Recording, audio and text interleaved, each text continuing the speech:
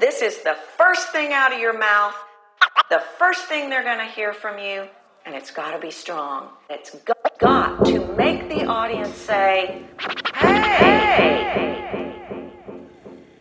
You've got to start your introduction off with a bang.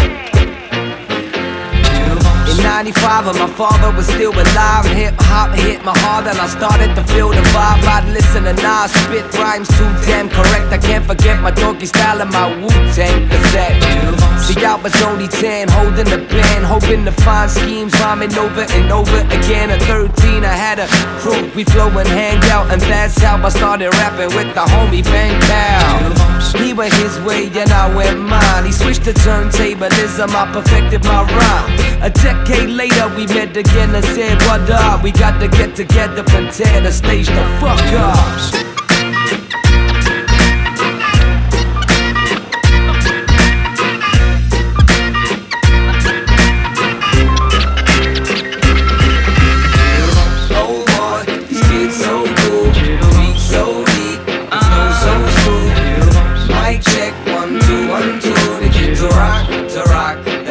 For you.